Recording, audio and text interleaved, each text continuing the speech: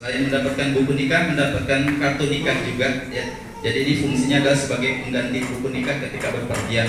Kalau berpergian yang dibawa cukup kartu nikahnya saja, buku nikahnya disimpan baik-baik di rumah. Ya, mungkin nanti mau bulan madu, mau nginep di hotel, biar nggak ketangkep satpol pp. Tunjukin saja kartu nikahnya. Ya, satu untuk suami, ya, satu untuk istrinya. Ya. Mungkin bapak ibu yang sudah menikah akan